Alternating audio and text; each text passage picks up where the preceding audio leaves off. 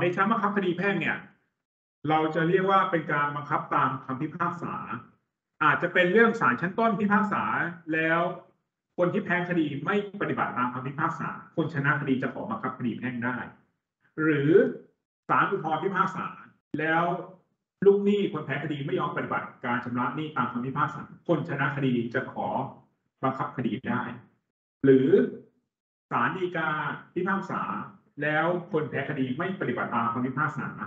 คนชนะคดีจะมาขอคับคดีได้ท่านฟังอย่างนี้ท่านก็คงจะงงเอ๊ะอาจารย์ทำไมมันหลายคำพิพากษาเหลือเกินอ่าด้วยความที่ศาลยุติธรรมมันมีสามชั้นศาลถ้าศาลชั้นต้นพิพากษาแล้วยังไม่มีคำพิพากษาสารพรหรือฎีกามายกเลิกหรือเปลี่ยนแปลง คนที่ชนะตามคำพิพากษาก็จะมีสิทธิ์บังคับคดีได้ตามคำพิพากษาเดิมนะคนชนะคดีมีสิทธิ์บังคับคดีตามคำพิพากษาได้ ทีนี้ถ้าเกิดในระหว่างที่ศาลชั้นต้นพิพากษา แล้วมีการบังคับคดีแพ่งในศาลชั้นต้นไปตามคำพิพากษาศาลชั้นต้น แล้วมีการอุทธรณ์ขนานกันไปกับระหว่างการบังคับคดีด้วย หมายความว่าไงหมายถึงคนชนะก็บังคับคดีไป คนแพ้ไม่พอใจก็มายื่นอุทธรณ์ถ้าศาลอุทธรณ์เปลี่ยนแปลงคำพิพากษา ของศาลชั้นต้นพิพากษาคนละแบบกัน กรณีนี้มันจะเข้า ข้อกฎหมายที่เรียกว่าคำพิพากษาสองศาลขัดกัน ให้ใช้ของศาลที่สูงกว่า เพราะนั้นไอ้ที่บังคับตามคำพิพากษาศาลต้นทำไป มันจะไม่มีคำพิพากษาหรือกฎหมายรองรับละที่บังคับคดีไปแล้ว ก็ต้องมีการแก้ไขหรือยกเลิก ถ้ายังไม่บังคับคดีก็โอเครอดตัวไปไม่ต้องทำอะไรบังคับตามคำพิพากษาอันหลังได้เลยอะทีนี้ถ้าเป็น กรณีที่มีคำพิพากษาแล้วไม่ว่าของศาลใดนะไม่ว่าจะเป็นของศาลชั้นต้นหรือศาลอุทธรณ์หรือศาลฎีกา พอศาลพิพากษาศาลจะออกคำบังคับคำบังคับคือกำหนดเวลาครับ อย่างเช่นสมมติสมมตินะฮะว่า โจทยื่นฟ้องว่าจำเลยกู้เงินหนึ่งแสนบาทครบกำหนดแล้วจำเลยไม่ชำระหนี้จำเลยให้การต่อสู้แล้ว สืบพยานแล้วศาลเชื่อว่าจำเลยกู้เงินจริง และจำเลยยังไม่ได้ชำระหนี้ศาลจะพิพากษาให้จำเลยชำระหนี้พอศาลพิพากษาให้จำเลยชำระหนี้ครับศาลจะพิพากษาให้จำเลยชำระหนี้ภายในกี่วัน อาจจะสามสิบวันให้ชำระหนี้หนึ่งล้านบาทพร้อมดอกเบี้ยร้อยละสิบห้าต่อปี ทีนี้ถ้าครบสามสิบวัน แล้วจำเลยไม่ชำระหนี้หนึ่งล้านบาท พร้อมดอกเบี้ย ก็จะเรียกว่าเป็นกรณีจำเลยไม่ปฏิบัติตามคำบังคับคำบังคับคือเดทไลน์ที่ศาลบอกไว้ในคำพิพากษาว่าให้ชำระหนี้ภายในกี่วัน ถ้าจำเลยไม่ชำระหนี้ภายในกำหนดเวลาของคำบังคับ ฝ่ายชนะคดี จะมีสิทธิ์ยื่นคำร้องขอตั้งเจ้าพนักงานบังคับคดีนะครับ ฝ่ายชนะคดีในที่นี้เราจะเรียกว่าเจ้าหนี้ตามคำพิพากษา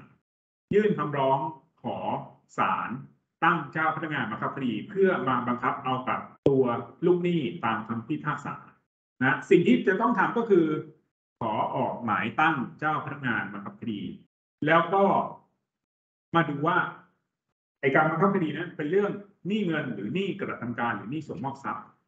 ถ้าเป็นเรื่องหนี้เงินนะครับ ถ้าเป็นเรื่องหนี้เงินก็จะไปยึดเงิน ทีนี้ก่อนจะยึดเงินได้เนี่ยจะต้องจ้างตั้งเจ้าพนักงานบังคับคดีเพื่อไปยึดเงินของลูกหนี้ครับ เพื่อมาบังคับชำระหนี้ให้กับเจ้าหนี้ผู้ชนะคดี อันนี้กรณีมีเงินสด ไปยึดเงิน ถ้าไม่มีเงินสดแต่มีสิทธิ์เรียกร้องเป็นเงิน ตามสัญญาฝากทรัพย์ ในบัญชีเงินฝากธนาคารนะฮะอันนี้อาจจะต้องรู้เลขบัญชีเงินฝาก แล้วก็ เอาเลขบัญชีเงินฝากมาแจ้งกับเจ้าพนักงานบังคับคดีขอให้ไปสั่งอายัดเงิน เราใช้คำว่าอายัดนะถ้ายึดเนี่ยจะใช้กับทรัพย์ที่เป็นของจำเลย แต่ถ้าใช้คำว่าอายัดหมายถึงทรัพย์ที่ยังเป็นของคนนอกที่จะต้องชำระให้กับจำเลย เราจะเรียกว่าอายัดแต่ในทางปฏิบัติจะเรียกปนกัน ยึดอายัดจะเรียกพร้อมกันครับ แต่มันจริงๆมันคนละแบบอายัดเนี่ยส่วนใหญ่เราจะใช้กับอายัดสิทธิ์เรียกร้อง ที่บุคคลภายนอกต้องชำระหนี้ให้กับตัวลูกหนี้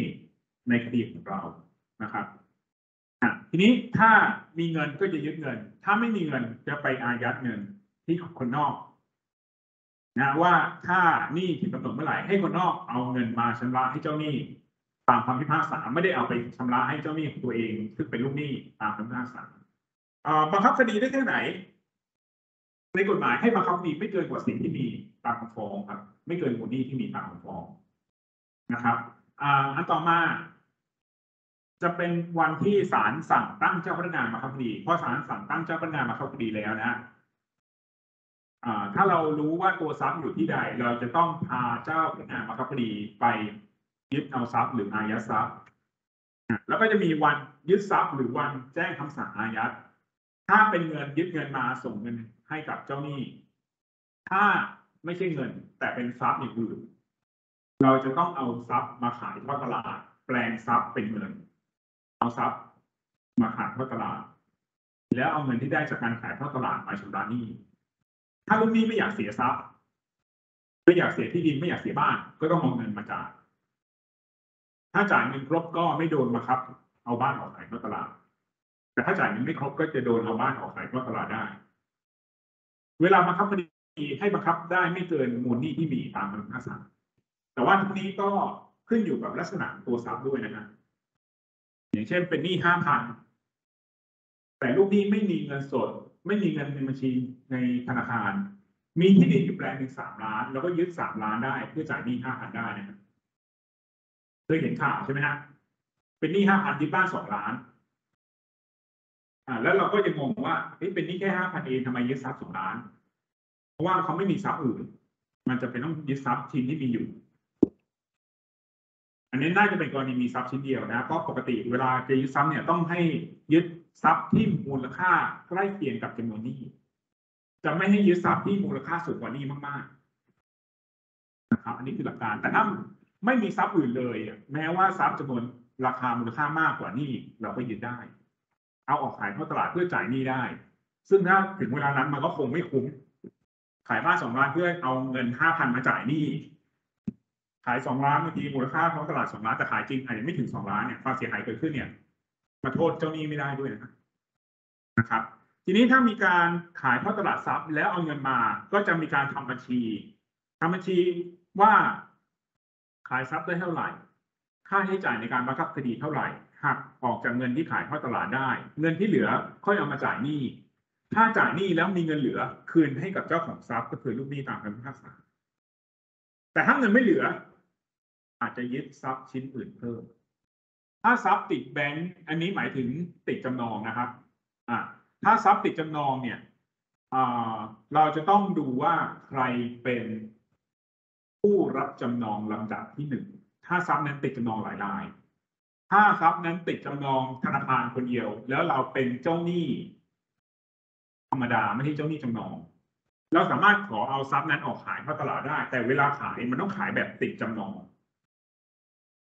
ขายติดจำนองหมายถึงคนที่มาซื้อทรัพย์จำนองธนาคารก็ติดด้วย ยกเว้นแต่ไปทำเรื่องขอปลดจำนองถ่าย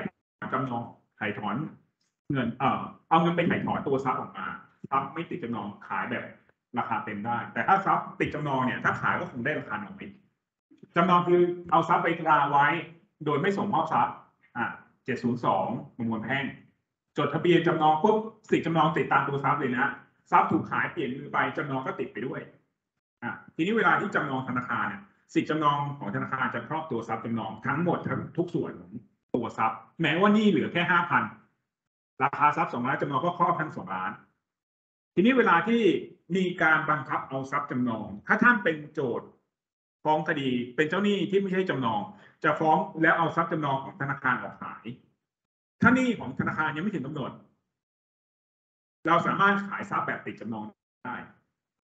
แต่ถ้าหนี้ของธนาคารถึงกำหนด ธนาคารจะมายื่นขอรับชำระหนี้ก่อนท่าน นั่นหมายถึงท่านฟ้องและท่านบังคับ แต่ธนาคารจะชุบมือเปิดเอาเงินไปก่อน ในฐานะเจ้าหนี้ผู้รับจำนอง เรียงตามลำดับ แต่ถ้าจำนองยังไม่ถึงกำหนด ขายทรัพย์จะติดจำนองไปด้วย หรือไม่งั้นก็ขายทรัพย์แบบไม่ติดจำนองแต่ต้องการเงินไว้ให้ธนาคารเผื่อว่าไอ้ลูกนี้ชั้นต้นในสัญญาที่ไปจำนองไว้ผิดนัด จะได้เอาจำนองมาบังคับเอากับเงิน ทีนี้ถ้าเกิดนี้จำนองมาถึงกำหนดแล้ว แล้วจำนองมันท่วมราคาทรัพย์เนี่ย ท่านก็ไม่ควรจะฟ้องคดี เพราะท่านฟ้องไปเงินเป็นของธนาคารหมดท่านเสียค่าทนายเองคนเดียว ไม่ได้นะอันนี้ก็ต้องระวัง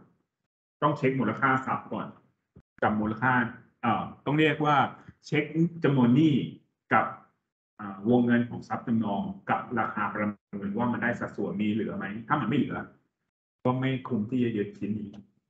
อ่าทีนี้ถ้าเกิดทำบัญชีเสร็จขายทรัพย์แล้วได้เงินมาทำบัญชีหักค่าบังคับคดี ถ้ามีเจ้าหนี้จำนองหักเงินให้เจ้าหนี้จำนองก่อน มีเหลือค่อยจ่ายเจ้าหนี้คนที่ขอบังคับโอเคนะ อันนี้ถ้า เป็นไปตามขั้นตอนนี้ก็จะเท่ากับบังคับคดีส่วนแพ่งจนจบกระบวนการ อันนี้ถ้าเป็นหนี้เงิน อะอันที่สองถ้าเป็นหนี้ส่งมอบทรัพย์พวกซื้อของแล้วไม่ได้ของ ซื้อที่ดินจ่ายเงินครบไม่ได้ที่ดิน ต้องมาเช็คว่าที่ดินนั้นเป็นของคนที่เราฟ้องไหม ถ้าที่ดินไม่ใช่ของเขาฟ้องยังไงเขาก็โอนให้เราไม่ได้ ก็ต้องแปลงเป็นเงิน จ่ายค่าเสียหายเป็นเงินมาแทนแต่ถ้า ฟ้องอ่าซื้อที่ดินจ่ายเงินครบไม่ได้ที่ดิน และที่ดินยังเป็นของเขาอยู่ ยังโอนให้แก่กันได้แล้วฟ้องให้เขาโอนที่ดินให้เราได้ขั้นตอนก็ฟ้องคดีจนกระทั่งศาลพิพากษาศาลพิพากษาปุ๊บถึงกำหนดเวลาตามคำบังคับ ลูกหนี้ไม่ปฏิบัติการชำระหนี้ตามคำบังคับหรือคำพิพากษา เราก็ขอออกหมายตั้งเจ้าพนักงานคดี ส่งเจ้าพนักงานบังคับคดีไปยึดทรัพย์มาส่งมอบเราถ้าเป็นทรัพย์มีทะเบียน ก็จะไปเปลี่ยนแปลงทางทะเบียนเป็นชื่อกรรมสิทธิ์เรา ถ้าเป็นทรัพย์ไม่มีทะเบียนจะเป็นต้องส่งมอบ จะต้องมีการยึดทรัพย์แล้วมาส่งมอบ แต่คำว่ายึดทรัพย์แล้วมาส่งมอบควรจะหมายถึงทรัพย์ที่เคลื่อนที่ได้นะถ้าเป็นทรัพย์ที่เคลื่อนที่ไม่ได้เนี่ยจะเป็นเรื่องขับไล่บุคคลที่อยู่ในที่ดินออก ส่งที่ดินเปล่าให้เรา อันนี้ถ้าเป็นกรณีส่งมอบที่ดิน หรือส่งมอบบ้านจะวิธีการนองเดียวกัน อันนี้ส่งมอบเงินไปแล้ว ส่งมอบทรัพย์ โดยองค์กรสิทธิ์อะต่อมานี่กระทำการนี่อย่างอื่นนี่อื่นพวกนี้กระทำการ เช่น บุกรุกที่ดินให้ไล่ออกจากที่ดิน ถ้าไม่ออกจากที่ดินก็เอาจับมาขังคุกเรียกค่าเสียหายอันนี้นะฮะก็จะเป็นอีกแบบหนึ่งหรือเอาของไปวางในที่ดินคนอื่นรบกวนการครอบครองที่ดินของคนอื่น เราไม่ได้โต้แย้งว่าเป็นที่ดินของเอ่อเราไม่ได้โต้แย้งว่าเป็นที่ดินของเรายเรายอมรับว่าเป็นที่ดินของคนอื่น แต่เราเอาอุปกรณ์ก่อสร้าง หรือขยะอะไรไปทิ้งในที่ดินเขา อ่า แล้วเขามาฟ้องให้เราเลิกกระทำการนั้นนะครับ ถ้าเราไม่กระทำการไม่ย้ายของเก็บของหรือเก็บขยะออกมาเขาจะสามารถจ้างบุคคลอื่นมาทำแทน แล้วให้เราออกค่าใช้จ่ายในการกระทำการนั้นแทนได้ อันนี้จะเป็นเรื่องที่กระทำการ ประมาณนี้ อ่า อันนี้ก็น่าจะพอเห็นภาพกระบวนการ ตั้งแต่เรื่องฟ้องคดีแพ่งจนถึงบังคับคดีแพ่ง ในส่วนบังคับคดีเนี่ยถ้าพูดถึงโครงสร้างใหญ่ๆมันไม่เยอะครับ แต่ดีเทลมันเยอะ ในส่วนบังคับคดีเนี่ยจะไล่ตั้งแต่มาตราสองเจ็ดศูนย์ถึงสามหกเจ็ดสองเจ็ดศูนย์ถึงสามหกเป็นบังคับคดีทั้งหมด ก็จะมีรายละเอียดเป็นบังคับคดี เป็นหนี้เงินหนี้กระทำการหนี้งดเว้น บุคคลภายนอกมาโต้แย้งว่าบังคับคดีแล้วไปกระทบสิทธิคนนอกจะทำยังไงนะฮะในบังคับคดีจะพูดเกี่ยวกับเรื่องนี้ แล้วถ้าเกิดมีมีทรัพย์อยู่ครับ แต่ว่าทรัพย์นั้นผิดจำนองอย่างเคสที่อาจารย์อ่าอธิบายไปครับ แต่ว่าจำเลยเนี่ยมีเงินเดือนหรืออะไรเงี้ย แต่ว่าทรัพย์ที่เราไปยึดนั้นน่ะ มันเรียกอะไรผิดจำนองหรือว่ามีมูลค่าที่ไม่ไม่คุ้มค่าการฟ้องเราข้ามไปอ่ายึดเงินเดือนได้เลยนะครับ หรือว่าทำตามขั้นตอนครับจะมีประเด็นว่าตัวจำเลยมีทรัพย์อยู่แต่ทรัพย์ติดจำนอง แล้วว่าจำเลยมีเงินเดือน ถามว่าจะบังคับจำนองก่อน หรือว่าข้ามไปบังคับเงินเดือนได้นะฮะ ตรงนี้ผมต้องแจ้งว่าถ้าเจ้าหนี้ฟ้องเนี่ย ต้องดูว่าเจ้าหนี้เป็นผู้รับจำนองเป็นคนฟ้องหรือเปล่า ถ้าเจ้าหนี้เป็นผู้รับจำนองเป็นคนฟ้องเนี่ยเขาจะสามารถบังคับจำนองเอากับทรัพย์ได้ ข้อดีของการบังคับเอากับทรัพย์จำนองตามสัญญาจำนองก็คือเขาจะเป็นเจ้าหนี้คิวหนึ่งเป็นคนเดียวที่ได้เงินจากทรัพย์จำนองก่อนทีนี้มันมีกรณีที่เป็นเจ้าหนี้จำนองแต่ไม่อยากบังคับเอากับทรัพย์จำนองมีไหมมี ในบางกรณีที่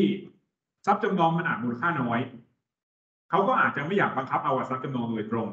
กรณีแบบนี้ ถามว่าฟ้องแล้วบังคับเอาทรัพย์อื่นได้ไหมคำตอบคือได้ แต่ต้องฟ้องบังคับแบบเจ้าหนี้สามัญนั่นหมายถึงถ้ามีเจ้าหนี้คนอื่น คุณจะต้องไปรอหารไปขอเฉลี่ยไปขอแบ่งจากเจ้าหนี้คนอื่น อันนี้คือกรณีของเจ้าหนี้ที่เป็นผู้รับจำนอง แต่ถ้าเราเป็นเจ้าหนี้สามัญที่ไม่ได้เป็นเจ้าหนี้จำนอง ถ้าเราไปฟ้องบังคับเอาทรัพย์จำนองเราจะเป็นคนที่ได้เงิน หลังเจ้าหนี้ผู้รับจำนองครับเพราะผู้รับจำนองจะมาขอรับชำระหนี้ก่อนได้ เพราะฉะนั้นถ้าเราเป็นเจ้าหนี้สามัญเราฟ้องยึดเอาตัวเงิน เราก็จะเป็นคิวแรกได้ ทีนี้ถ้าเป็นเรื่องตัวเงินต้องระวังนิดนึงเพราะว่าในเรื่องของตัวเงินเนี่ย มันจะมีกฎหมายเรื่องแบบประมาณเหมือนคุ้มครองอไม่ให้ลูกหนี้จ่ายหนี้จนหมดตัวจนไม่มีเงินเลี้ยงชีพอะครับถ้าเป็นกรณี ลูกหนี้เป็นพนักงานเอกชนเนี่ย จะดูเงินส่วนที่เกินสองหมื่นจะสามารถไปตัดเงินส่วนที่เกินสองหมื่นมาบังคับชำระหนี้ได้ แต่ถ้าเป็นพนักงานอ่าเป็นข้าราชการครับ เงินทั้งหมดเราจะไปยึดเพื่อมาจ่ายหนี้ไม่ได้อายัดเงินเดือนของข้าราชการไม่ได้ข้าราชการนี่ไม่จำกัดจำนวนเงินนะฮะถ้าเงินเดือนเยอะก็สมวนหมดเลยแต่เป็นอ่าพนักงานเอกชนเนี่ย เฉพาะส่วนที่เกินสองหมื่น นั่นหมายถึงเราจะกันไว้สองหมื่นเพื่อให้เขาเลี้ยงชีพเอ่ออันนั้นก็เป็นอีกเรื่องหนึ่งครับ แต่ว่ากฎหมายให้แค่สองหมื่นส่วนที่เกินสองหมื่นเราสามารถไปตัดบัญชีเขามาจ่ายเป็นอ่าชำระหนี้ตามคำพิพากษาได้ แต่ว่าอันนี้จะต้องทำเป็นเรื่องคำร้องขออายัดเงินเดือนซึ่งจะอายัดส่วนที่เกินสองหมื่นแล้วเอามาส่งให้กับเจ้าหนี้ได้ครับครับผมคุณนำพลมีคำถามเพิ่มเติมไหมครับ หรือท่านใดมีคำถามเพิ่มเติมไหมครับนี่นี่เดียวประธานคือถ้าเกิดเงินเดือนนั้นอะ ถ้าเกิดอ่า จำเลยครับ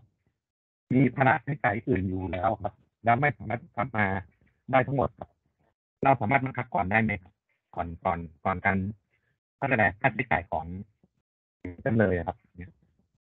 หรือว่าเขามีภาระผูกพันอย่างอื่นนะครับมมติว่านการหักบัญชีโดยตรงหรืออะไรครับ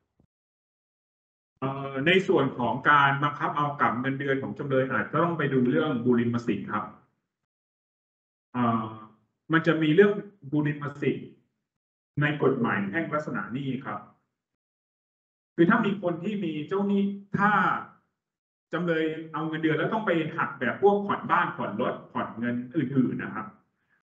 แม้ว่าเขาจะติดพวกภาระการผ่อนต่างๆ แต่ถ้าเจ้าหนี้เหล่านั้น ไม่ใช่เจ้าหนี้บุริมสิทธิ์เราคนฟ้องคดีเราขอตัดเงินนั้นมาจ่ายหนี้เราก่อนได้ครับ แต่ถ้าเป็นเจ้าหนี้บุริมสิทธิ์เราจะต้องไปต่อคิวหลัง ถ้าถ้าบริษัทได้รับหมายหรือคำสั่งอายัดของเจ้าพนักงานบังคับคดีแล้ว ไม่ปฏิบัติตามคำสั่งอายัดของเจ้าพนักงานบังคับคดี บริษัทมีความผิดครับ แต่นี้ถ้าบริษัทจะไม่ปฏิบัติตามอาจจะต้องอ้างข้อกฎหมายเพื่อยันว่ามีกฎหมายอะไรเปิดช่องให้บริษัทไม่ปฏิบัติตามได้ ถ้าไม่มี แล้วบริษัทไม่ปฏิบัติตาม ไม่ยอมหักเงินเดือน ตามเงื่อนไขหรือตามที่กฎหมายเปิดช่องไว้ ก็บริษัทเราอาจจะฟ้องบริษัทเป็นกรณีละเมิดต่างหากคือส่วนที่ที่ที่อาจจะได้ก็คือเกินสองหมื่นขึ้นไปใช่ครับ สมมติว่าเขาเงินเดือนห้าหมื่นก็กันสามหมื่นเอามาจ่ายหนี้ได้ ก็การถามหมื่นได้เลยแต่ว่าผมไม่แน่ใจว่าการได้ทั้งก้อนไหมในทางปฏิบัติผมก็ไม่รู้รายละเอียดว่ามันจะต้องจัดคิวก่อนหรือเปล่าเข้าใจว่ามันต้องจัดคิวในฐานะเจ้าหนี้บุริมสิทธิ์ก่อนแล้วถ้าสมมติว่าเขาไปแกล้งมีเจ้าหนี้อ่า ต้องคือแกล้งว่าเป็นหนี้ใช่ครับแล้วก็ให้บริษัทหักเงินเขาไว้อะไรอย่างเงี้ยนี่แยบยลมากเลยนะ ก็เงินอาจเขาก็จะเหลือน้อยลง ก็อาจเกิดขึ้นได้ แต่ว่าไอ้คนทำก็มีความเสี่ยงที่จะผิดฐานปลอมเอกสารคดีอาญาเขาจะกล้าเสี่ยงขนาดนั้นไหมแล้วก็ถ้าสมมติว่าเขาเปิดเงินล่วงหน้าอย่างเงี้ยเงินเดือนก็ห้าหมื่นแต่เขาเปิดล่วงหน้าเลยสามหมื่นส่วนที่เกิน เขาก็เหลือสองหมื่นไว้ ไว้ตอนตอนตอนมันก็คงทำได้แต่ทำได้ทุกครั้งไม่ได้ไหมครับเพราะว่าไม่มีเดือนนี้เดือนหน้าก็ยังมีมันคงไม่ได้ทำเบิกล่วงหน้าได้ทุกครั้งไหมฮะหรือถ้าเอาคำสั่งนี้มาแจ้งนายจ้าง ก็เขาก็ต้องกันเงินแล้วเพราะนายจ้างก็กลัวเหมือนกัน เวลาเจอหมายสารนายจ้างก็สั่นเหมือนกันขนาดตัวเองไม่เป็นคดีนะครับ ก็กังวลเวลาเจออะไรที่เกี่ยวกับสารนะฮะ นี่อันนี้ผมตอบคำถามคุณนำคนครบถ้วนแล้วยังเอ่ยครับขอบคุณอาจารย์คือที่ที่ประเด็นที่ผมถามนี่คือว่าผมเจอเคสแบบนี้ที่ทำงานกับน้องเขาโดนฟ้องเรื่องแบบติดจะโดนตัดเงินเดือนครับ ผมไม่รู้ก็เหมือนกันมาอยู่ดีมีหมายสารมาที่แอเลยก็เขาก็ทำการตัดเงินตรงนั้นไปครับ